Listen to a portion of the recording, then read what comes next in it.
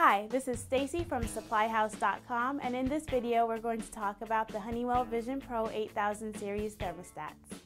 The Honeywell VisionPro 8000 series is easy to install, easy to program, and very easy to use. These thermostats feature a large backlit display, a real-time clock, screen lock, and precise comfort controls within one degree of set point.